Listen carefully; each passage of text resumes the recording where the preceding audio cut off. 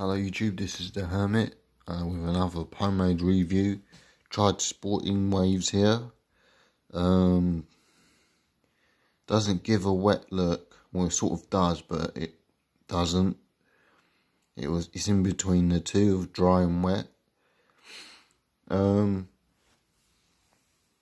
it's washed out pretty easy. Didn't need to use shampoo. Smells pretty nice. Uh, I quite liked this one actually. Yeah. This is alright. Doesn't make your hair feel like there's a ton of plastic on top. So, it's sort of, it's in between the two. In between wet and dry. This one. It's, keeps your hair in place. Uh, good for short hair, I think. Okay, that's it. Uh, let me know what you think. Link is in the description to where I bought it. Um, like and subscribe. Take care yourselves.